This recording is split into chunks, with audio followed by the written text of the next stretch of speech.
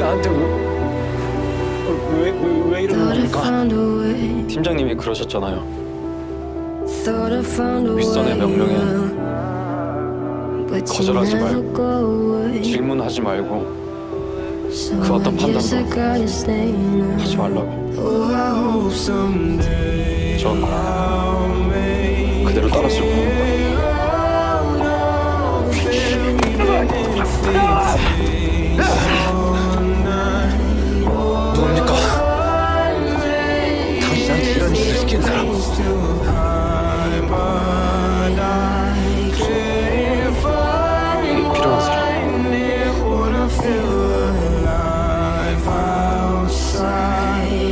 searching for